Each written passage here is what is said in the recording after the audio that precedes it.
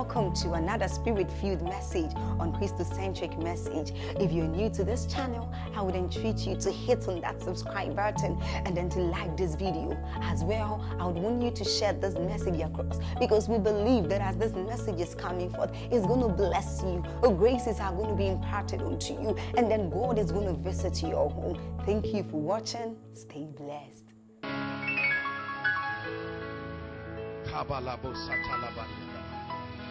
God is really ministering to someone tonight. It's not the way you have been looking at it. It's not the way you have been looking at it. Physically, you have not been in school for three years. But there is a progression. The Lord has been doing something. The job did not come. Five years after graduation, you are still struggling. And you believe you are like every other jobless person. Is that true? There is an investment of the Spirit in you. Only if you believe that waiting is not equal to delay in the kingdom. The nation of Israel could not wait. And what did they tell Aaron? Let's look at that verse. Exodus 32. Very quickly. Is someone getting blessed? Impatience can jeopardize your destiny. You can make mistakes that you may only be able to walk through, but never ever be able to cut out of your life. Hallelujah.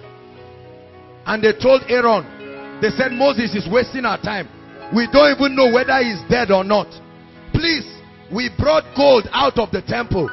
We remember that while we were slaves, we saw the Egyptians worshiping a God of gold. And it was the God that brought them out. Oh yeah, Aaron, come and build us this idol. Let's celebrate this idol. We can't wait. If there is God in heaven, why will he keep us in the wilderness for? For this long. 40 days. We didn't see Moses. He didn't tell us anything. And we are waiting. Let us build an idol. And while God was with Moses advocating for the same people they were destroying their own destiny by themselves. And Aaron said unto them break off the golden earrings. They forced Aaron. They forced Aaron which are in the ears of your wives and of your sons and of your daughters and bring them unto me. Verse 3.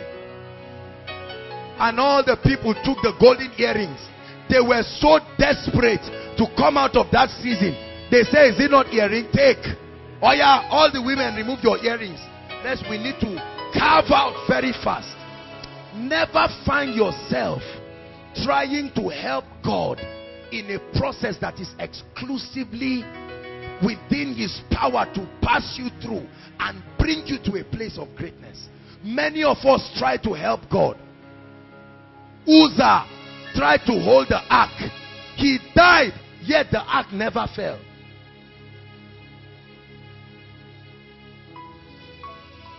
Let's look at just one verse there and then we'll continue. And he received them at their hand and fashioned it into a graving tool. After he made it into what? A molten calf.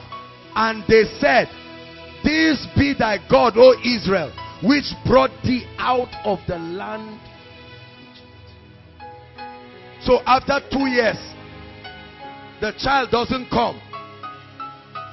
After praying and praying, oh, we trust God.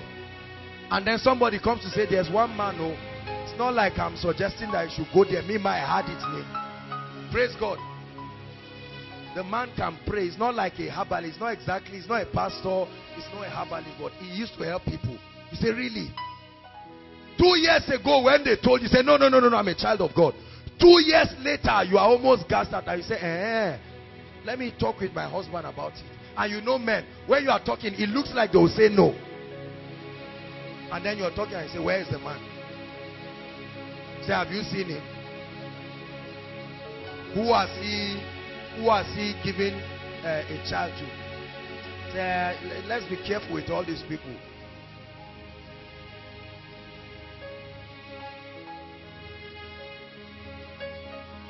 Hallelujah.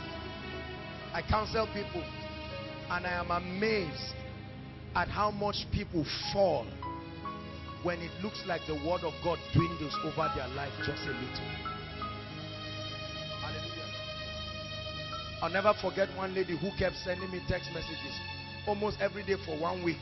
She said she believes that there are instructions I'll give her for her marriage. I said, my dear, there's no instruction. I'm, I'm spending my life for hours shouting on Friday.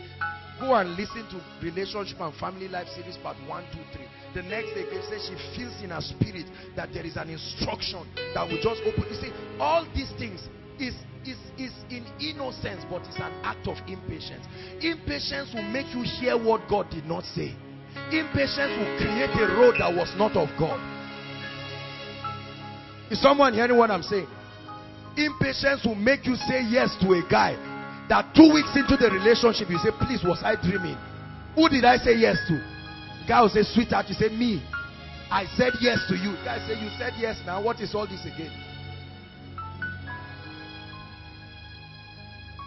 And ladies, please be warned. I don't know why, as I'm talking, I'm coming into all this relationship thing. Maybe God is speaking to some people through it.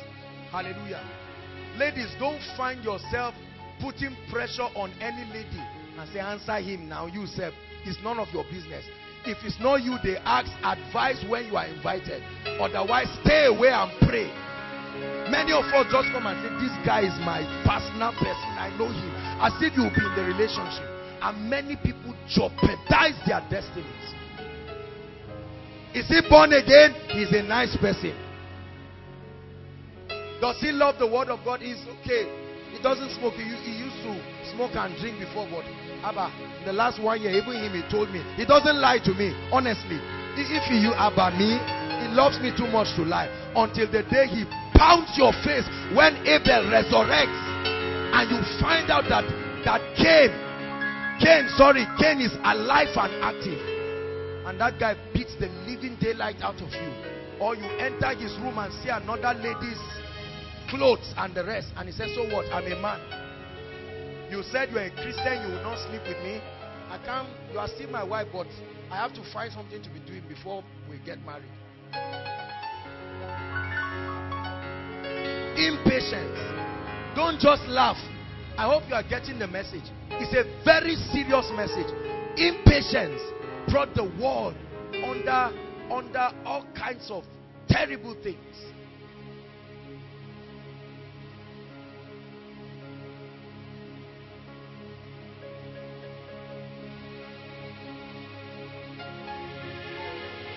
someone getting blessed? Let's hurry up.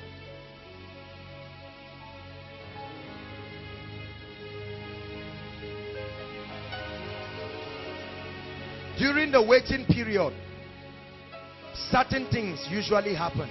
And I want you to take note of them. Number one is that you have the tendency to get weary.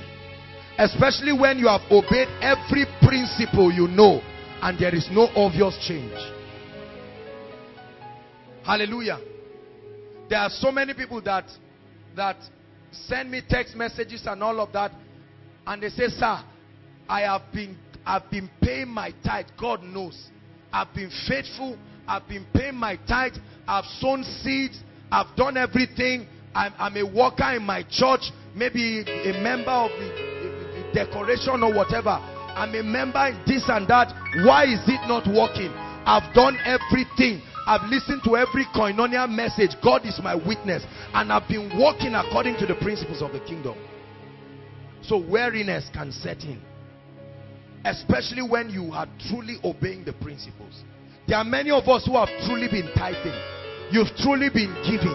You've been submitting your prayer request miracle service after miracle service. Nothing seems to have happened. But listen. Number two, your joy begins to fade.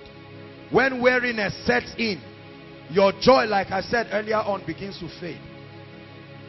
Number three, impatience sets in. I'm giving you to it.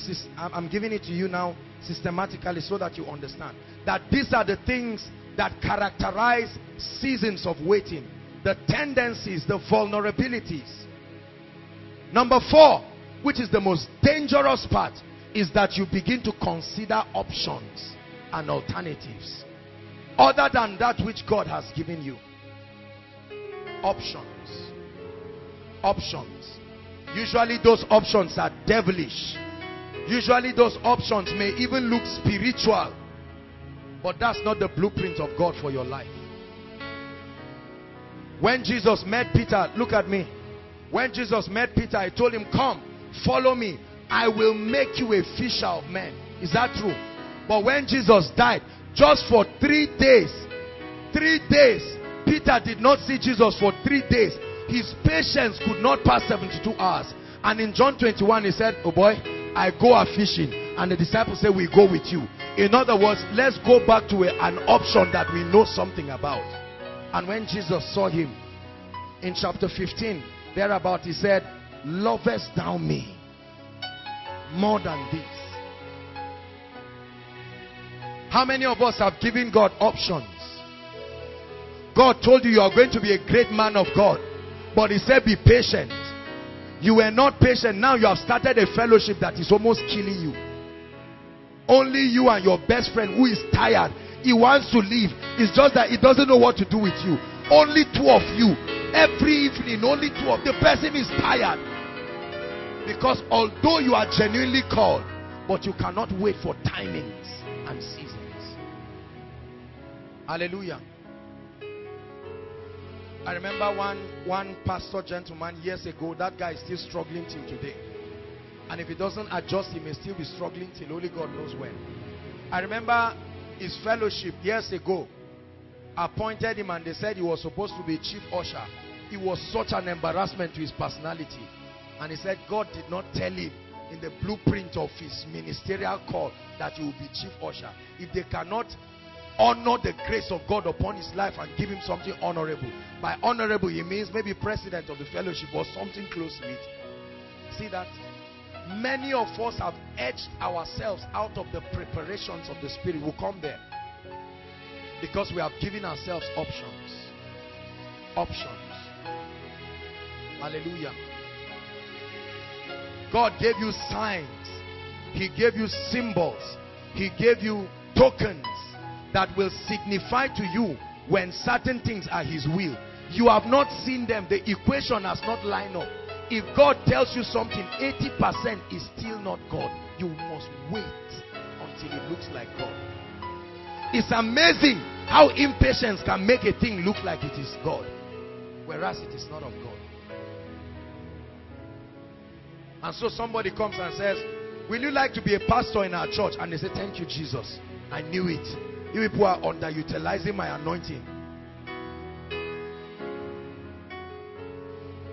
Anytime God did not send you, be sure that you will not see his hand. See, let me tell you, this is one of the reasons why people move ahead of God and they keep struggling until the season comes where God catches up with them and they call it breakthrough. Then they make another mistake again and they wait. Why don't you walk with God? It's dangerous to walk ahead of God. Hallelujah. Impatience. Some of our parents have put our families in trouble because of impatience. I must build a house this year. I must build a house this year. Because my colleagues have built houses. Me too, I must build a house. I must buy three cars this year. One for me, one for my wife, and one for the children. And some of you are part of the sponsors of this impatience. Daddy, do it. You can make it. I believe in you. And now we put all our parents under all sorts of nonsense pressure. Because there is no impatience. There, there's no patience, sorry. Hallelujah. Some of us are here. If you want to wear tomorrow's clothes today, get set to walk naked tomorrow. Are you hearing what I'm saying? I must buy a suit of 100,000. You carry everything God has blessed you with now, home and abroad. You bought one suit and you will die for the remaining part of your life. Whereas that money came to buy books. Is someone getting blessed? And then the trouble is the jet age and technology has made matters worse. Hallelujah. We have 15 year old millionaires, 20 year old millionaires. So everybody just says, I, I must make it in this Nigeria. If there is a cake, I must cut my share or stab whoever is standing close to my share until that piece of my cake comes to me. And you know, there are all kinds of confessions and prayers in the church that encourage this lust. Kill every enemy that is covering your cake, your portion of the cake. And you know, we do all kinds of things in the name of prophetic activities. Events sponsored by hell to push us into impatience. Say, I receive grace to be patient. There are many of us here. Sister, your life would not be in the mess that it is if only you were patient. You said, all my colleagues are in relationships. And one guy just came, one of the lonely one among the friends. Say, okay, I'm doing too. And look, from that day till now, been four or five years of hell on earth. Because you attach yourself to Hagar. And Ishmael is the product. Tonight, God is delivering someone in the name of the Lord Jesus Christ. Say, I will wait. Everyone say it, I will wait. I receive grace to wait. There is a difference between delay and process in the spirit. If you allow the devil to destroy your life, listen, let me tell you, I, I shared with you a few stories last week. I remember when a few years ago, I would be invited to go and minister. Then there was no protocol, no nothing. And I would prepare, fast and pray, right? And go and minister. And at the end of it, the people will not even say, oh, there is an honorarium, we want to appreciate you. And I mean, I will fast for days as if I'm preaching in an international conference somewhere. And then I'll go and sometimes it's when I arrive that they'll push people in front. Praise God. And say there is a place. And I remember, I will never forget, two pastors, they came and met me.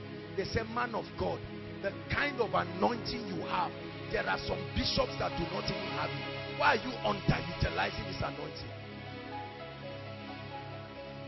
Many of us will hear that thing and say it's true. It's true. I'll never forget through the rain, through the sun, through whatever. I will risk myself, pay my own transport and get there. I will never forget there was a gentleman from BLW. It was his suit I used to borrow when they invite me for ministration.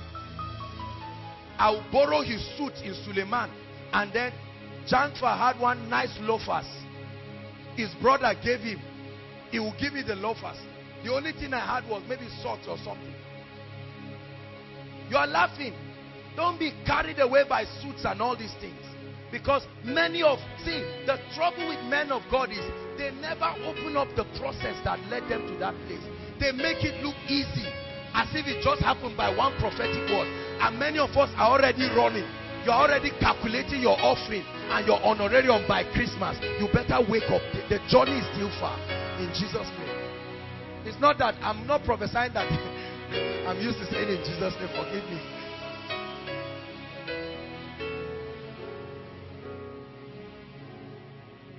Hallelujah.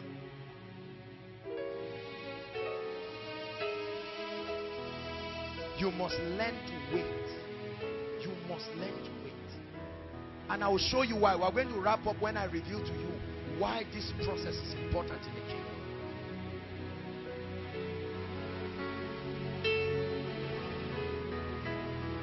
I'll never forget. One time when I got an honorarium of 10,000, I couldn't believe it. It was like I was dreaming.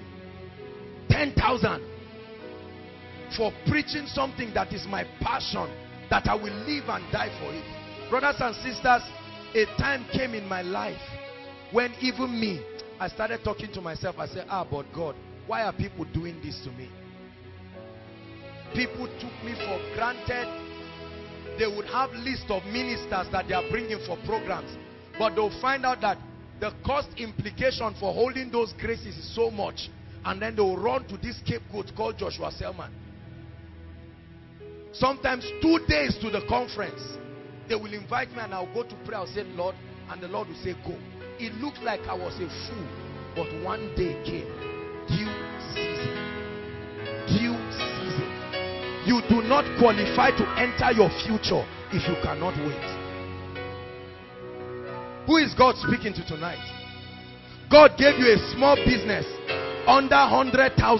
You've not been effective there. You're already dreaming in the name of Jesus. In two months, I'll be riding a Jaguar. I'll be, you better stop dreaming and settle down and understand how things happen in the kingdom. Tame your lust and line it up with the seasons of the spirit. There is a difference between speed and foolishness. Are you getting what I'm saying? Many people step into seasons that is not God that let's listen. If you force a door to open, whether it's God that opened it or not, it will open. But the trouble is, when they ask you who sent you, you will turn back and find out that you've been going alone.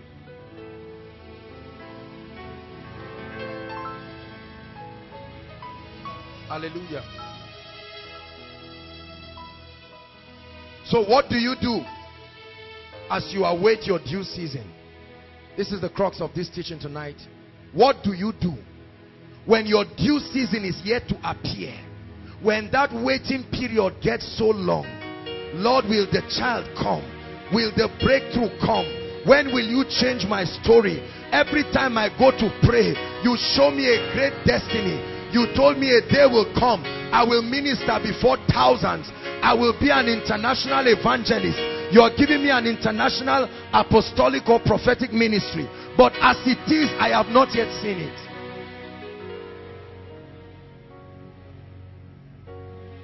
Number one, I'm giving you the formula.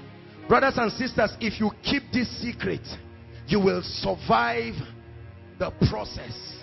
Between prophecy and manifestation, you will find out that while men are falling by the wayside, there will be a strength that will carry you.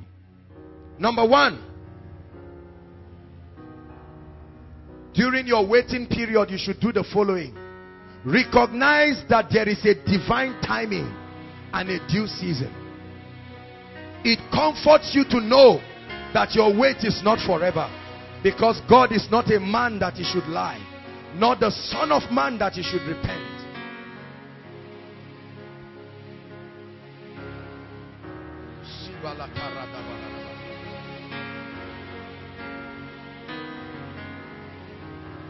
Ecclesiastes chapter 3 from verse 1 to 8 won't turn there tells us that there is a time for everything under the sun. The bible says john remained in the wilderness until his what? Season of appearance.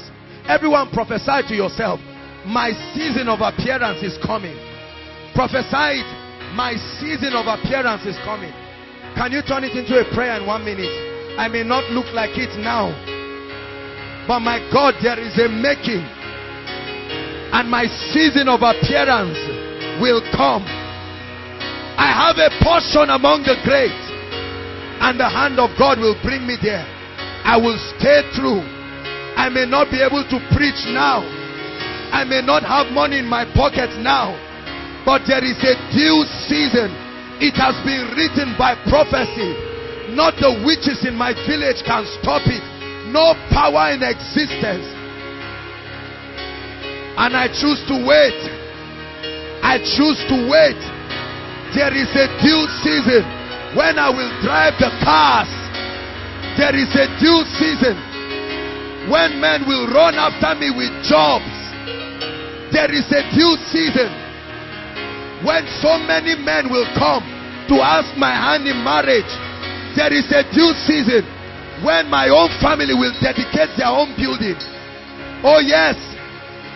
Time and chance happened to them all. My turn is coming. I know this for sure. A day will come. I will know what it feels like to be a kingdom millionaire. A day will come. That wedding ring will enter my hand too.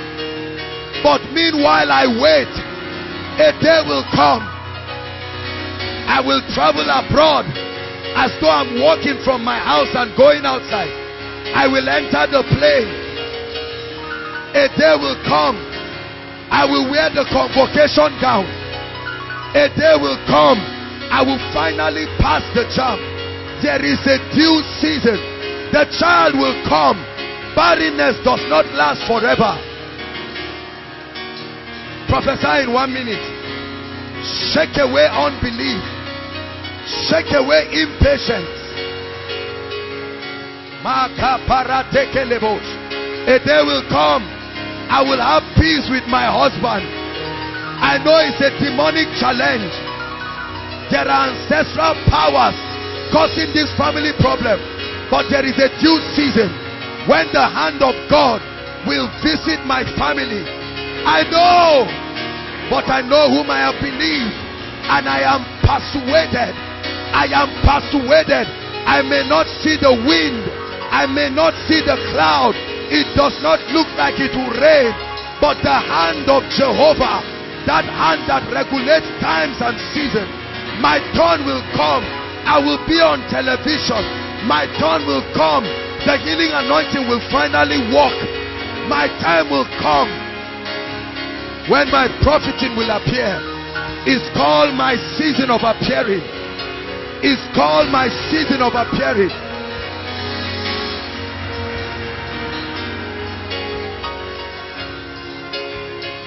Hallelujah. Recognize that everything under the sun works by timings. So when men are pushing you into seasons you are not ready for, listen. I cannot tell you, God gave me an instruction. And God told me, He said, that He would use koinonia messengers like angels and messengers of fire and send them across the nations and God specifically said we should never, not in this season of ministry, begin to sell tapes and do all of that. I cannot tell you how many people have called to say, man of God, you are robbing your ministry of millions of naira. I said, I appreciate your interest, but there is a season. Are you hearing what I'm saying? So many people have spoken to me Come and open Koinonia branch in Abuja. Come and open in Lagos. Come and do this. Come and do that. I told you in 2006, after our crusade in Jos, it was so powerful. The PFN said that we should come and open a branch of the ministry. They were willing to give pastors so that we would train and have an auditorium. I went to God and God said you would die. That was exactly what I told them. That God said I would die. Listen, Many men of God today, do you know why ministry is killing them? Although God called them, they have opened other seasons for themselves. God never spoke to them to start a church. They started a church. Now they are wondering, no money, no nothing, no grace. There are many people. God told them you are an evangelist. They said, I need a base so that I will have money. As though God cannot finance his work. Are you seeing how it has gotten a lot of people into trouble? Never do anything without asking God. Even if God said yes yesterday, ask him today again. Three days for us to start Koinonia. I went on a retreat. Three days I went on a retreat. And I said, Lord, it's not that I'm doubting you, but I want to confirm again. Peradventure, it was my flesh that ministered to me. Hallelujah.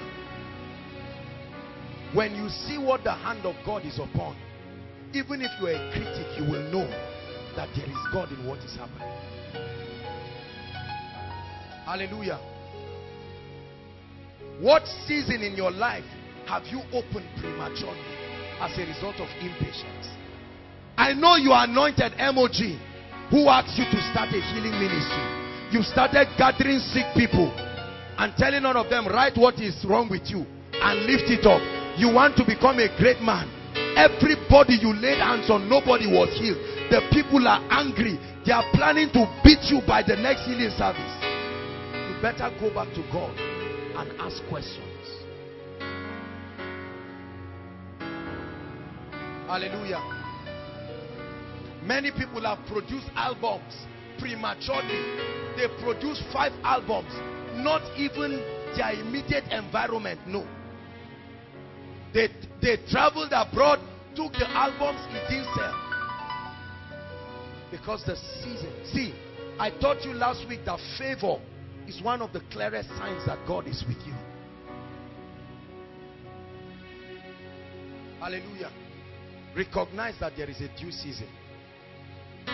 Sister, be delivered tonight. The husband will come. You are not the first to get married. Neither will you be the last. Brother, I know you are almost 30 years old. Relax. It's better to enter a profitable relationship at 30 than to enter nonsense that you sweat for three years before the arm of God will come to deliver you. Some of you see people in relationship and you admire them. Go and talk to them in truth and find out. Some of them, as they are going, they are just tired. It's just that they don't know what to do again with their lives. There is a child. They are already married. Say preparation.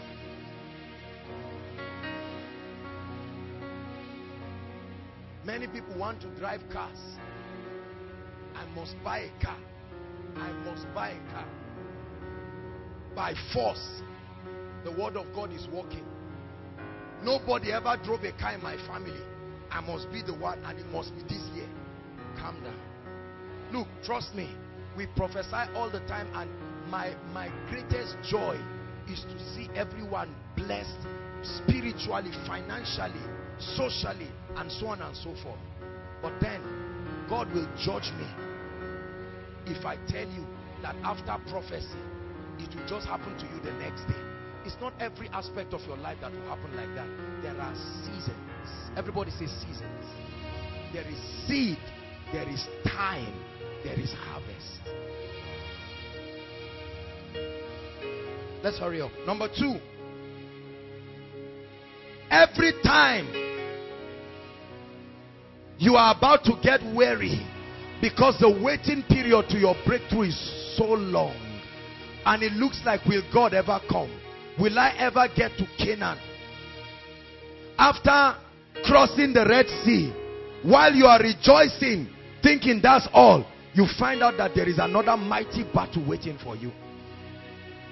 Listen, the second key is to meditate on the faithfulness of God. Meditate on the faithfulness of God so far. Count your blessings.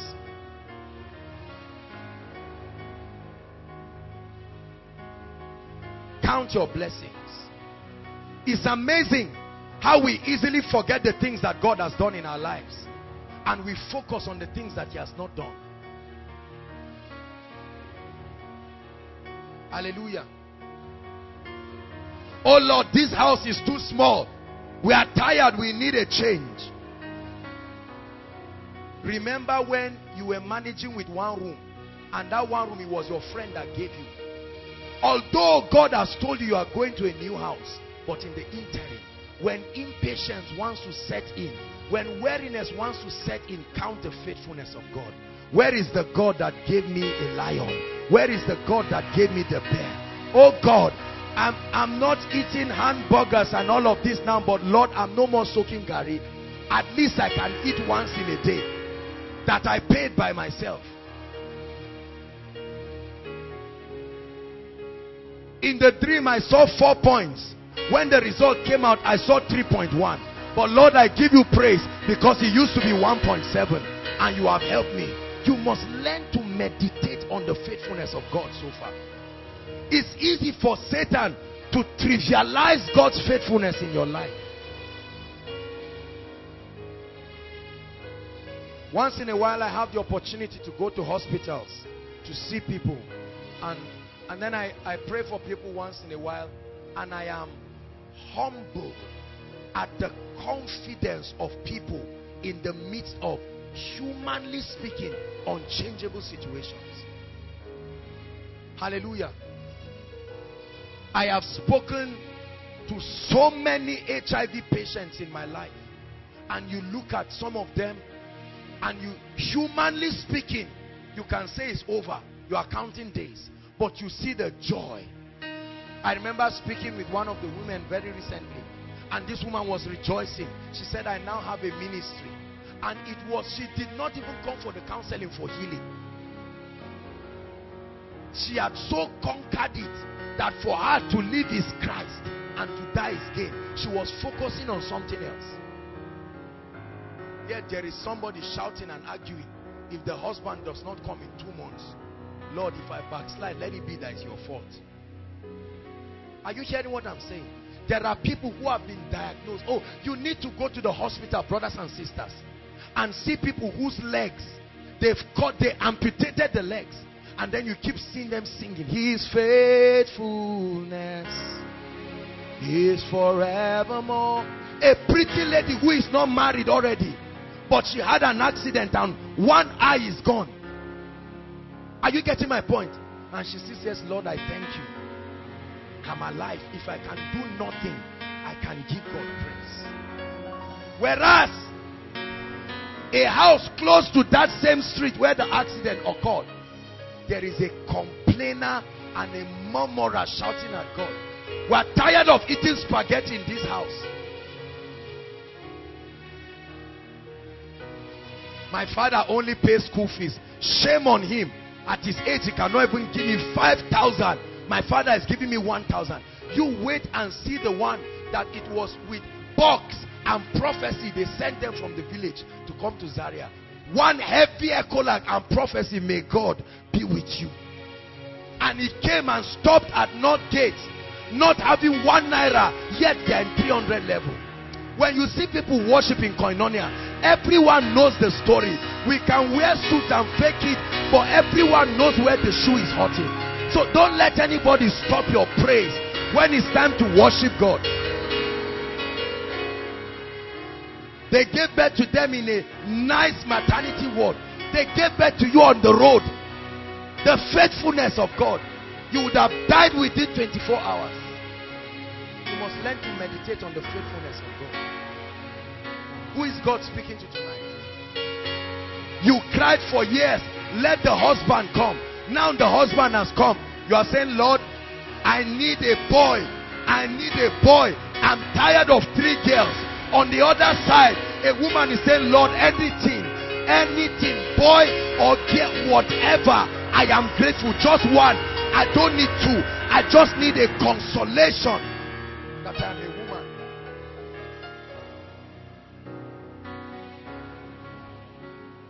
What to do?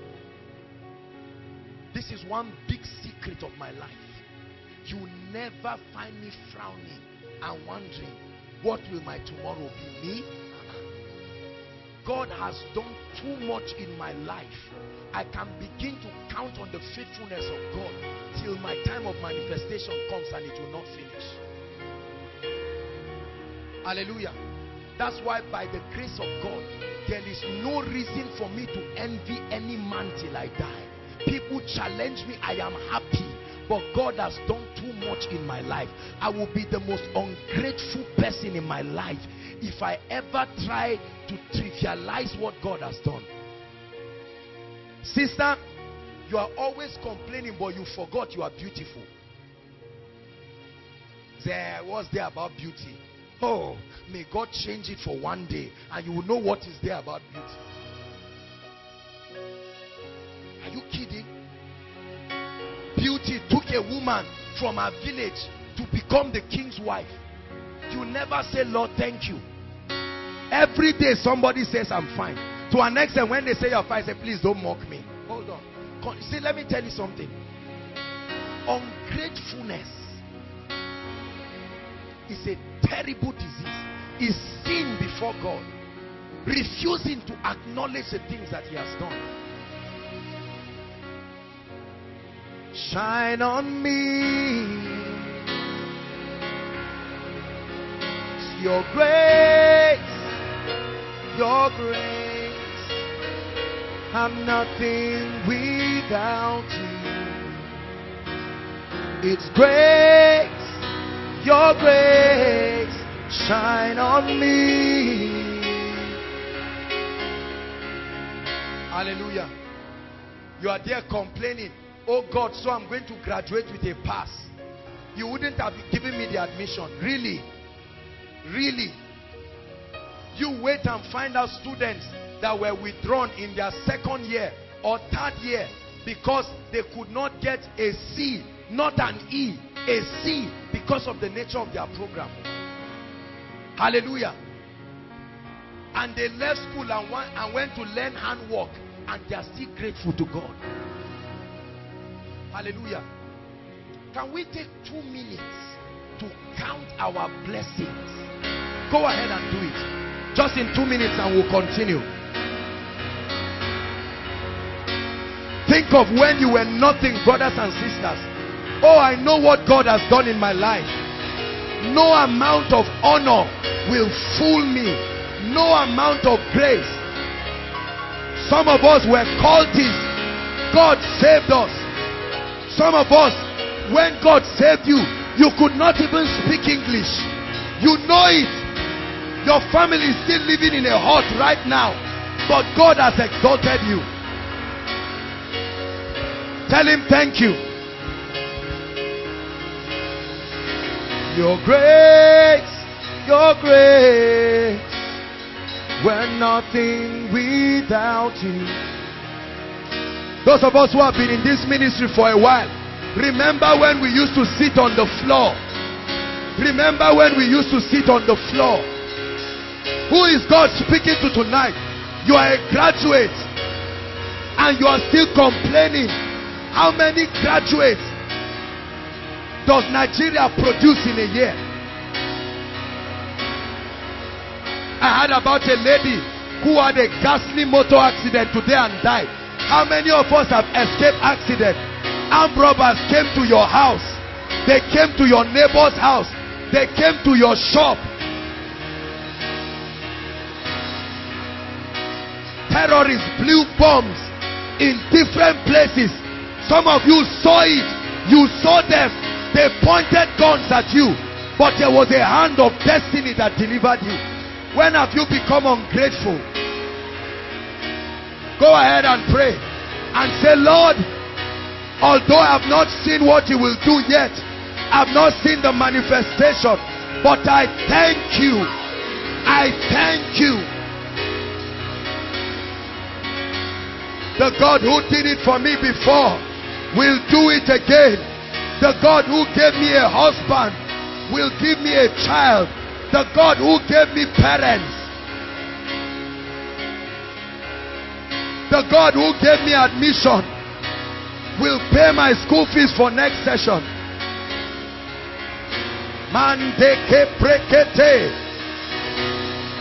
God who sustained my father without a job for 10 years.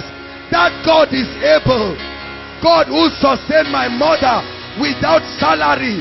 She trained me to school. Where is that God? Where is the God that delivered you? When the doctors concluded about you, when that breast lump grew up, when when when that when your hair was your hair was falling, where is that God that helped you? Some of our parents were sacked and God gave them better jobs. Have you forgotten the faithfulness of this God? Your grace, your grace. I'm nothing without you. Grace, your grace shines on me. Hallelujah.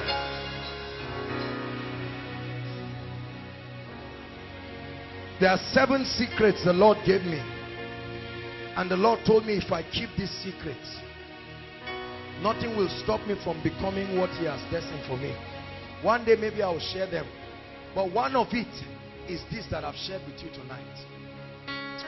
If you know how to take advantage of your testimonies, you will never never become a victim of impatience. Let's hurry up. Number three, what to do while you wait for your due season. Employ the weapon of praise. Hiya. Many people do not know that praise is a weapon. Employ when when you count your blessings, then you balance it up with praise. And see the devil that will stand to speak discouragement to you. Habakkuk chapter 3. Let's hurry up. Habakkuk chapter 3. Let's read from verse 17. And let's see what the prophet had to say. Habakkuk chapter 3. Brothers and sisters, this is what makes some people mighty. And they walk upon the earth as if Satan does not exist. There are revelations that empower men. Although, everyone look up, the fig tree shall not blossom. But at least there is a fig tree. Is that true? Neither shall fruit be in the vines, but at least there is a vine. The labor of the olive shall fail, and the field shall yield no meat. The flock shall be cut off from the fold, and there shall be no herd in the stalls. Verse 18. Oh, hallelujah. Come on now. Somebody say, Yet I will rejoice. The WAEC result did not come out well. Yet I will rejoice. I will joy in the God of what? The God that will bring that salvation. I will rejoice. Although nothing may seem to work. Some of you as you go back right now to your homes. The truth is that there's nothing to eat this night. Yet I will rejoice. I remember times in my life, I've told you, when I would buy bread and cut the bread and put granite huh, and close it and give thanks to the God of Israel because I knew that what was in me was greater than a restaurant greater than whatever Can you sing the song he's playing now, Sam? What does the song say? Let's even understand the meaning of the song. So that we know we're singing. Igbo people, what does it say? Imela. That's what I'm saying. What's the meaning? Thank you. Huh? Thank you. For what? You've done well. God bless you. Imela. Just worship God within one minute. Imela. Okaka. Onye keluwa.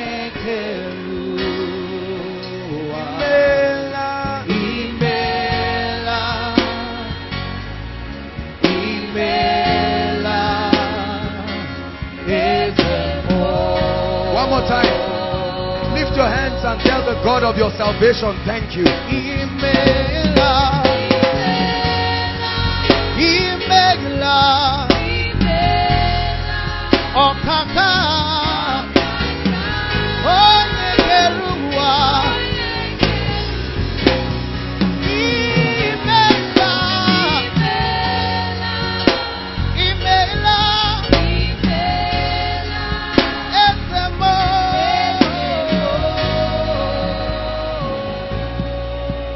Psalms 138, very quickly. Psalms 138, verse 1. Powerful scripture. I'm giving you the arsenals to go back and bulldoze the gates of hell. And let the devil know that although you were almost gassing out, you came for koinonia tonight. And that the oil will never run dry. He said, I will praise thee with my whole heart before the gods, all the gods that want me to be weary. He said, I will praise you before the gods. I will sing praises. That means I will look at all of these options and I will dance before God and say, it's better for me to remain barren than to go to a herbalist to get a child. The weapon of praise. The weapon of praise. Let me hurry up because I want us to take at least five or ten minutes. Two more points and we'll round up. We have to praise God this night. Number four. What do you do while you wait for your due season? Number four, look up. Begin to act like the future you see coming. While you wait, If you truly believe that you are going to enter that future, begin to act. If you think you are going to get into the palace, then start learning the language of royalty. It's the sign of faith that you are preparing. You believe you are getting married. Start behaving like a married woman, not a small girl. Change, switch, have the mindset, develop the ideologies that conform to the new level you are entering. Start acting like the person you believe you are going to be. Develop the mindset. You believe you are going to be a multi-billionaire CEO. Start behaving like that. Don't behave like an armed robber. Don't read any nonsense you see on the internet. Compose yourself. Start carrying the traits of leaders. You believe you are going to be an exceptional leader. Start training yourself. Don't speak anyhow. Great men don't speak anyhow. Start learning the protocol of greatness. There is a protocol that leads you into the realm of greatness. You believe you are going to be standing before presidents. Start behaving well. With your plate of gari, use fork and knife and learn. No problem. Make your mistakes. You are doing it in the secret place. A day will come, you will do the real one.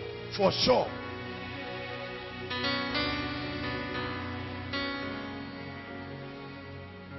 Begin to act like your future. When Joseph, Joseph knew he had seen it in the spirit, seen it in the dream, that a day will come, he will stand. The sun representing his father, the moon representing his mother, and 11 stars will bow to him. But then his life was opposite what his destiny was saying. They threw him in the well and he composed himself. He said, I'm a leader. I will learn the language of royalty. Listen, when they sold him for the equivalent of about $13 or so, that's the equivalent today. $13, you sell a human being. Were they so broke that they sold their brother to go away? But Joseph said, no problem. There's one song we used to sing before. You can take my coat. You cannot touch my destiny. We used to sing and jump with it during missions. Then in FCS, that you can take my coat, you cannot touch my destiny. Should I teach you? One minute. One, two, sing. You can take my coat, you cannot touch my destiny. They can take your coat, they can lie against you, they can scandalize you. That's taking your coat, but it will not touch your destiny. They can say you will never make it, no problem. That's taking your coat. It doesn't just mean till a woman comes to lie that you rape her. Whatever men do to impede your progress, they are taking your coat. But they can take your coat, It cannot touch your destiny. See, this must be your contemplations in the secret place.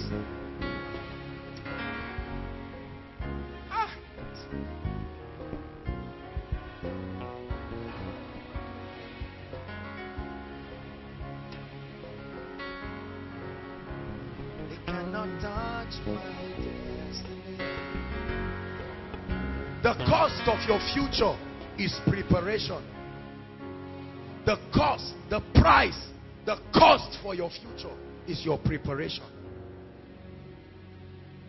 While you prepare for your due season, keep getting qualified for that future. You will never enter a future that you are not qualified for. I shared this last week. God will never bring you into a future you are not prepared for. So he will hold back that time so that your preparation will coincide with the comings of times and seasons.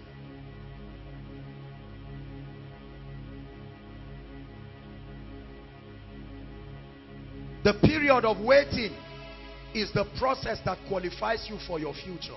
Write it down. The period of waiting is the process. The trainings that you receive during that period of waiting is what qualifies you for the future.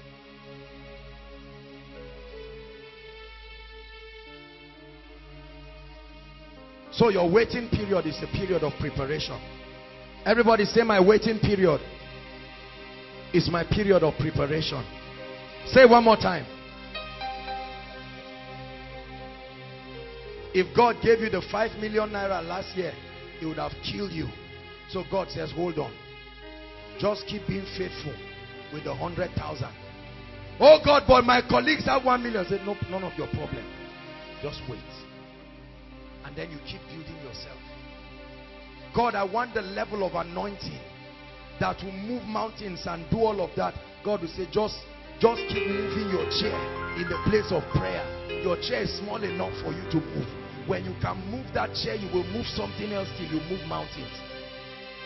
David did not become a king in one day. There was a progression. Although he was anointed for the palace, there were seasons. Be faithful at your current level. When Joseph went to Potiphar's house, he was so exceptional. He didn't have to wait until he got to Pharaoh. He was faithful, excellent. So much so that Potiphar made him the head of everything. He walked like royalty. He talked what to make the wife of Potiphar to be attracted. You know, slaves had a way that they dressed. Their beards were long. They didn't have time to shave and look nice. But Potiphar's wife looked at Joseph and she, she was strict. She said, come, I prefer this guy to my husband because he walks like royalty. Other slaves were moving his over. Wherever we die, Joseph said, I'm not dying in Egypt. I know that I've come to the place of royalty. Square up your shoulder and know that it only, one of the most comforting scriptures for me in scripture in the Bible is, and it came to pass. Everybody say, and it came to pass. Powerful scripture. It never comes to stay. And it came to pass. You hear the Bible say it again. On the fifth day of this month, and that and that, and the word of the Lord came to Hallelujah. How many of you are behaving like your future already? Don't raise your hand. Some of you are still behaving like your past. Because in the future, you will be too great to keep bitterness. But you are still keeping bitterness. Right from secondary school. Now you've met with a lady in university and you say, even till we die, you are still holding on to your past. You are prolonging your arrival. Because you are not preparing yourself to be qualified. Hallelujah.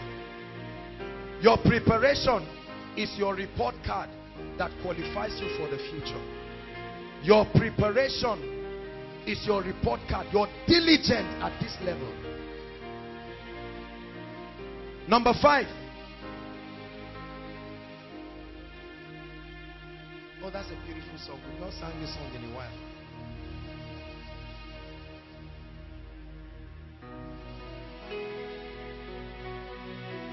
You think I'll sing it? Let's continue. I'm trying to rush. Number five. What to do while you are waiting for your due season. Look for problems to solve. The nearest problem to you is your exit out of your current season. The nearest problem to you is your exit out of your current season. We discussed that last year. No man ever enters greatness. You find favor with God through the fear of the Lord, through faith and through title. You find favor with men by solving problems. Joseph knew that he had the ability to solve problems and he rejoiced. When he was in the prison, Potiphar's wife lied that he raped her. Said, no problem. The truth will come out because you can see. Look at me. You become too cheap when you spend your time explaining yourself to critics. Are you getting me? You become too cheap. You make yourself too cheap. There are many of us who learn this now. Learn this now. It is easier to become great than to remain great. Look at me. Come, my sister.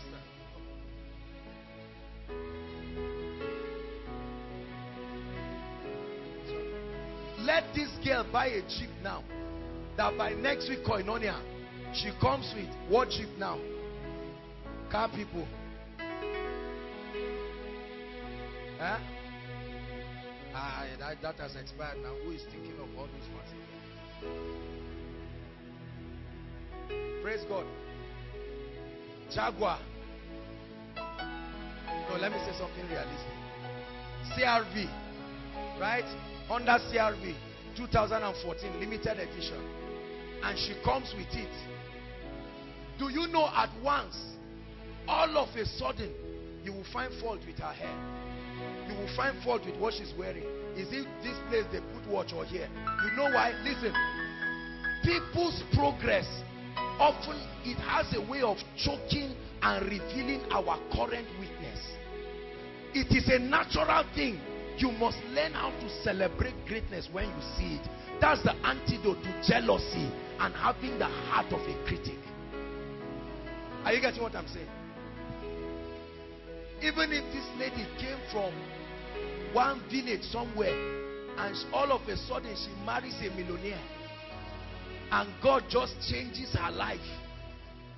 There are people who say, eh, is this how to smile? She's not even behaving like a rich man's wife. Hold on. The truth is, it's not about her smile. Because if another millionaire comes to marry you too, you stop. You have now become colleagues in greatness. So no more criticism. Are you seeing that? I'm teaching you a principle. Every time people criticize you, understand their predicament. Don't be angry. Your success is doing something to them. Listen. Hold on. You were still doing the same thing before you got great. Why was it not an issue? That is today now, all of a sudden, eh, Shadrach wants to show us he's wearing shoe of 20,000. Who doesn't have it? If not because of my father, will I not be wearing? No problem. Listen. Deliver yourself from the spirit of criticism by celebrating greatness when you see it. Oh, Shadrach, this is beautiful. You are looking smart. Wow, wonderful. We are coming. God bless you. You hardly criticize those you truly celebrate. Are you getting my point? Please learn this. Every time you see God doing a good thing in someone's life, many of our parents are like that. You just saw one doctor or one professor in ABU. He just changed the fifth car. Say, eh, if chopping the money of the institution. It's all that. Get out of that attitude of cynicism and learn to celebrate.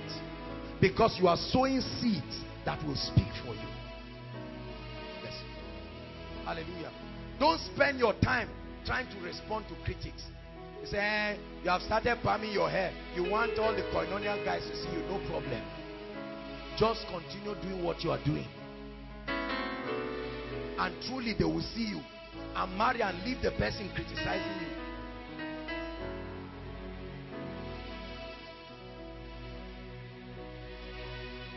Problems are gates, right? Problems are not walls, they are gates. Problems are doors. Begin to view problems as gates. It exits you from one season and brings you into another. The sun will no more give you sunlight by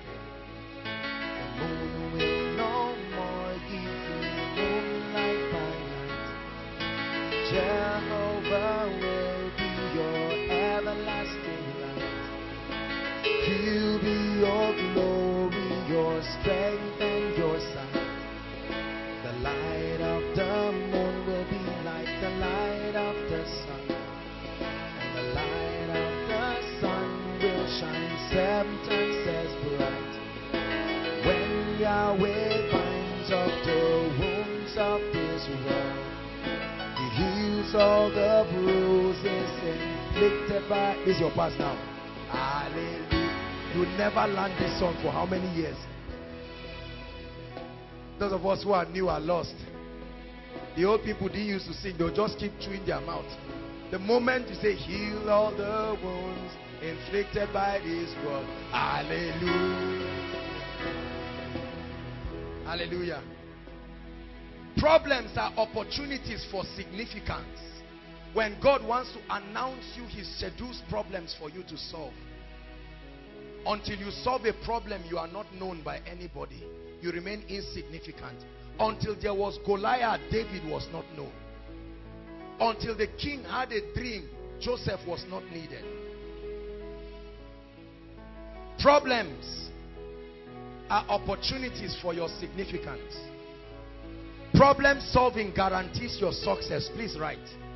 I'm showing you the things to do that will bring you into your due season. Problem solving guarantees your success. Write this down. Problem solving creates your distinction from others. Everybody will look at you the same way they are looking at everybody until an ability to solve problem distinguishes you. Sovereign problem solving sets you apart. It distinguishes you. It makes your difference to be seen. Problem solving makes you known. You will remain in the wilderness until the problem you solve announces you. When you do this, you can rejoice knowing that a due season is coming. All the days of my appointed time, I will wait. Brothers and sisters, as I look at us here, I see people who are bigger than Nigeria. I see people who are bigger than, than West Africa. There is an anointing within you. Some of you are sitting down here. Nobody, look, let me tell you. I have learned from experience that there are all kinds of gifted people scattered in this house. You may just sit down and watch people. I remember when I was marking the exams of the the the first set of the, the students, the school of ministry. My goodness. Those guys were trained under quite some harsh condition. They had like six months of strike and all of that. For a four-month program, they spent close to a year. When I was marking their exams, I was even afraid. I said, these guys may not do well. I was shocked. I tell you, some people wrote that exam as if it's magnet. And it's a kind of exam that uh, you can even carry your, your, your notes and write it and you still fumble. And I learned once again. Brothers and sisters, the person sitting close to your side may be a genius that is bigger than this realm. It's only a matter of time. Are you hearing what I'm saying? Forget about the board, what the board has told you. 1.1, 2.2, 3.3. Hold on. You are bigger than that. But will you wait for your season of appearing? Or will you get so intimidated there are many people who sit down and say, I'm bigger than this level. So I will move myself. That's the greatest danger. There are some of you that are doing jobs of 20,000. But the truth is that even if they pay you 1 million naira, they have insulted you based on what you have. Continue doing the 20,000 naira job. Qualify yourself for the greater seasons that are coming. Hallelujah. There are some of you when you sit in class with your colleagues, academically speaking, you may not be the best students, but there is so much in you. Don't worry. Don't try to announce yourself. Relax. A day will come, God will speak and say, This is my beloved son. This is my beloved daughter. This is my beloved kingdom millionaire. This is my beloved apostle. This is my beloved prophet. This is my beloved pastor. And he will command the world to hear you. Hallelujah. Hallelujah. Very, very important. We're going to do two things very quickly. In the next five minutes, please, I want everybody to participate in this. We're going to enter such a realm of prophetic worship. We're just going to thank God for the season that He has even brought us. Thank Him for the things Please worship him, prepare yourselves. Thank him for the things that he has done. And thank him for what he's going to. I don't know how you are going to worship God and praise God tonight. And then after that, we will pray and prophesy and receive grace from God. This message you are hearing, you will play it again and again in the future when you sit on the throne of greatness and you will cry because you will thank God. Rise up on your feet, everyone.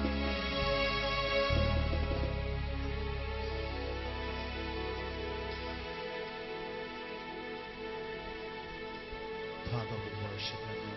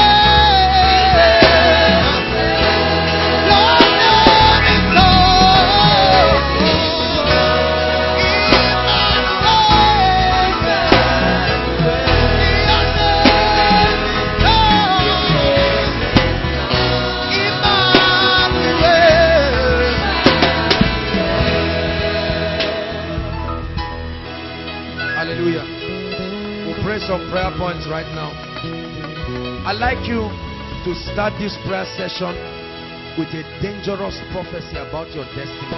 I don't know what the devil has spoken to you. I don't know what options you are about to take. But right now, lift your voice and begin to speak and say, I'm not giving up. My God is alive. Go ahead. Pray. No way. No giving up.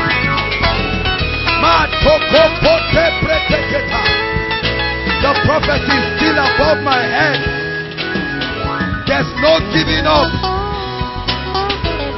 I may fail, but I will rise again. There's no giving up. The hand of God is upon me. I'm an object of praise.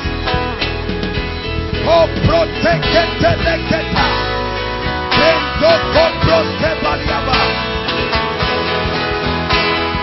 There's no turning back. There's no turning back. My destiny is before me. There is a generation waiting for me. There's no turning back. I may cry, but there's no turning back. I may weep, but there's no turning back. There is an anointing upon me. There is a prophecy upon my life. Though he slay me, yet will I praise him all the days of my appointed time. I will wait. I know my Redeemer liveth. I know my Redeemer liveth. There is hope for a tree, even though it is cut off at the scent of water. It will bud again. Prophesy. There's hope for my family. There's hope for my marriage. There's hope for my academics.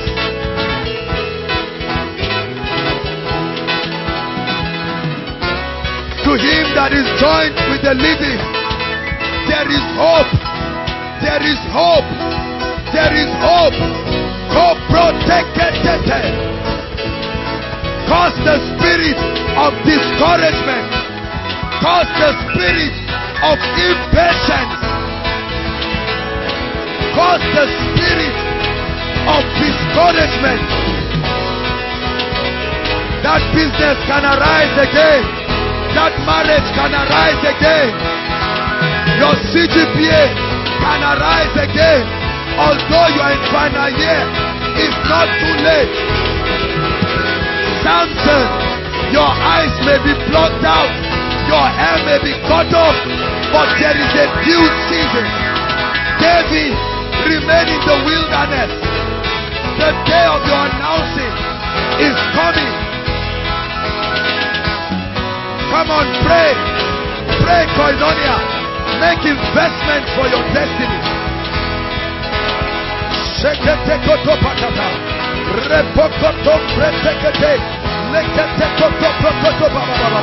I refuse to give up.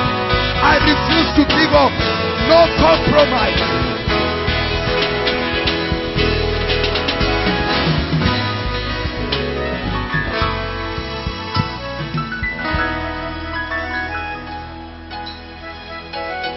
Hallelujah. Two prayer points and we'll round up. The next prayer point is that you're going to cry for grace. The Bible says if you turn aside in the day of battle, if because of the fierceness of the season of waiting, you now say, I will marry any man, I will take any job. Okay, I will go to the herbalist. I will ask God for forgiveness later on. I will sleep with the boss. Let me just get the work. I like you to shout, No way. Shout it, No way. Listen, the three Hebrew boys said, Oh king, we are not careful to speak to you in this matter. Our God, whom we serve, will deliver us. But even if He does not deliver us, we are going to pray. I like you to say, Oh God, tonight give me the finisher's anointing. Give me the finisher's anointing. One more time, I will push. Come on, open your mouth and pray. The finisher's anointing. Papa. Porekete. The anointing.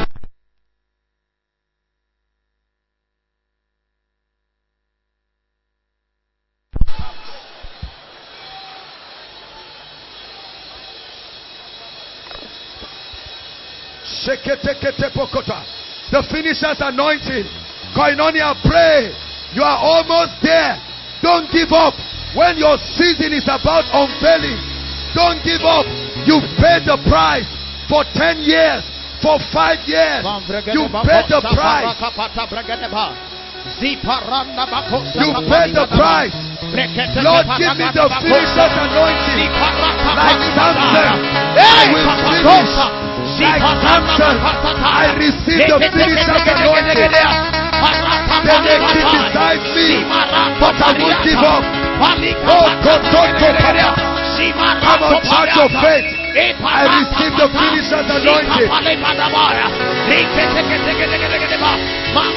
They may call me Mother Teresa, but I will keep walking in holiness and diligence. I will wait. I will wait. I will wait till my change comes. Life and chance happens to them. Wait. Wait. They that wait upon the Lord, they that wait upon the Lord, they shall renew their strength. They shall mount up with wings as eagles. They shall run and not be weary. They shall walk and not faint. Oh, my soul, wait thou upon the Lord. Oh, my soul, wait thou upon the God of your salvation.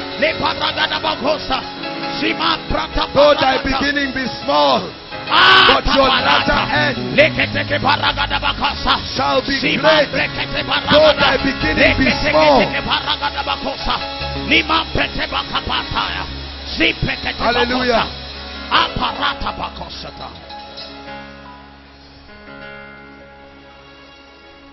They that wait upon the Lord, when their strength, when they are almost gassing out, suddenly, when the devil is celebrating the finishing of the oil, a prophetic word brings it back again. Hallelujah. The last prayer point. I like us to prophesy and say, Lord, I will become what you have shown me. Nothing will stop me. I'm on my way coming. Prophesy. I will become that prophet that you have told me. I will become that great man that great woman. I prophesy. I send a prophecy to my destiny. You will enter your realm of greatness. Koinonia, you will only rise from glory to glory, from grace to grace, from prosperity to prosperity. One level of the anointing after another. Prophesy. I call my family blessed. I call my loved ones blessed. I call my destiny blessed. The hand of Zerubbabel that has started this work. The hand of Zerubbabel that started this ministry. The hand of Zerubbabel will complete it at the shout of grace. The shout of grace. The shout of grace. It is not by power. It is not by might. There is an ability of the Spirit. There is an ability of the Spirit. It's the finisher's anointing.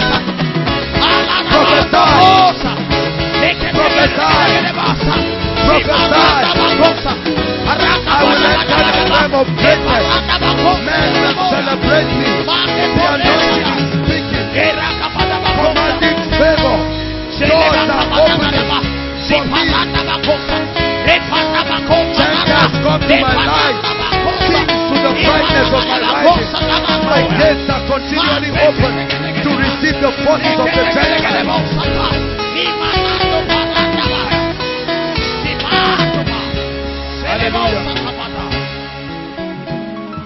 Hallelujah. Hallelujah. I feel like adding just one more prayer point. We are going to pray specifically for the finances of our lives and our loved ones. Are you ready to pray? Two prayer points under that just at once. Cause the powers. Are you getting me? I told you there are some delays that are not godly. There are some waitings that are delays. I'd like you to cause the powers and release increase. How many people are ready to pray? Say after me in the name of Jesus. Say it again in the name of Jesus. I stand as an ambassador of the kingdom and I plead the blood of Jesus over everything that speaks against the prosperity of my life and my family. Lift up your head, O ye gates, and be ye lifted, O ye ancient doors. Lift your voice and speak. We plead the blood of Jesus. We plead the blood of Jesus over the spirit of poverty. We plead the blood of Jesus in this city of We We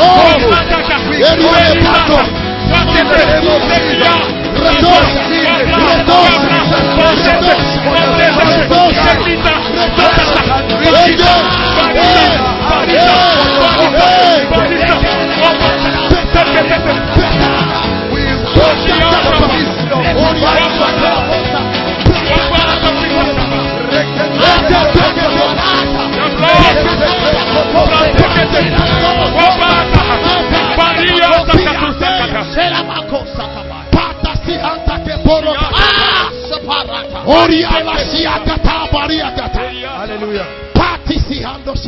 Lift your hands, everyone. Lift your hands. I prophesy over your life. Everything that has made you unthankful, everything that has made you impatient, that you are about to fall out in this season and compromise. I cause that power now in the name of Jesus Christ. Every other voice you've been listening to that is not the voice of His Majesty, tonight we silence that voice in the name of Jesus. Every wrong relationship, wrong association, wrong business, wrong ties, in the name of Jesus Christ, that is giving Satan access to destroy you, be delivered from it now. Be delivered from it now. Be delivered from it now. I pray for you. Where your strength is almost failing, tonight receive a supply of strength. A supply that will last you until you arrive. In the mighty name of Jesus.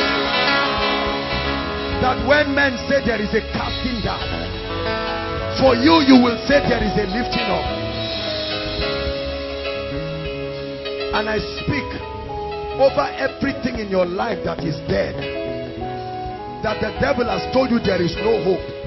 In the name that is above all names, I command those dry bones, come alive now. Come alive now. That dying CGPA, come alive now that dying family come alive now. That dying marriage come alive now. For your expectations shall not be cut short. In the name of the Lord Jesus. Celebrate Jesus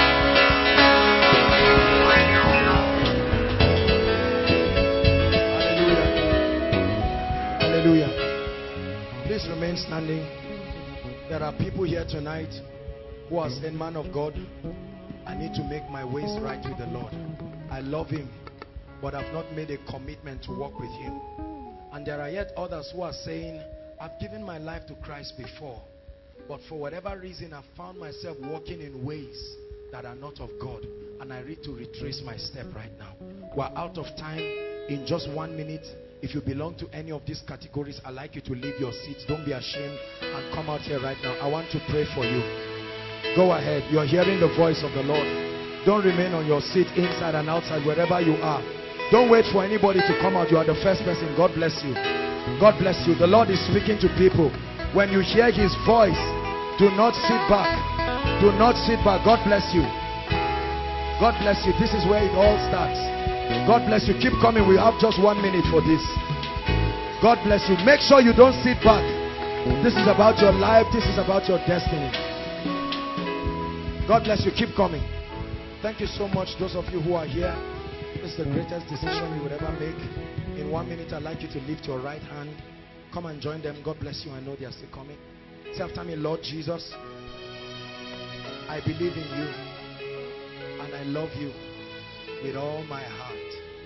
I make up my mind to live for you from today and for the rest of my life. Join them, my brother.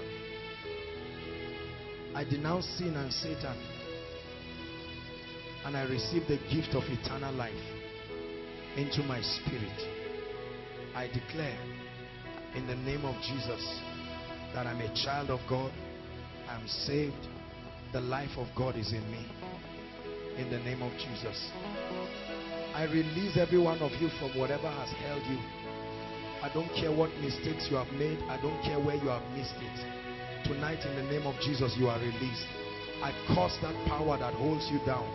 And I release you in the mighty name of Jesus to experience the way, the very life of God. In the name of Jesus Christ. I declare you saved. I declare you free in the name of Jesus Christ. Thank you for making this glorious decision bless you. Please, I'd like you to follow the usher waving his hands. They'll have your information and you'll be back. God bless you. Thank you. Thank you so much. Hallelujah.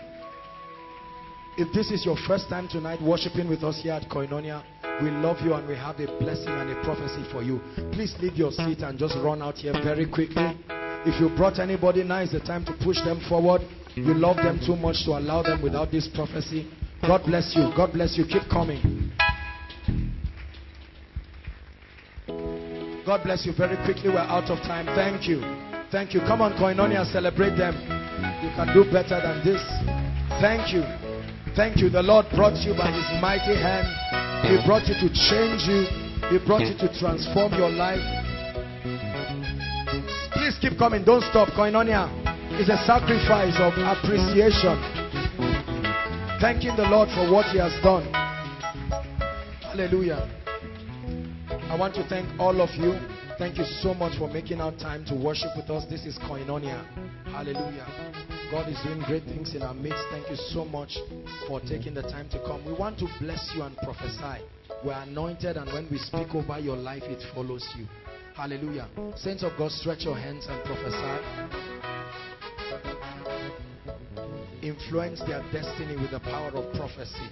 We command in the name of Jesus Christ that you are experiencing the hand of God, you are experiencing the grace of God.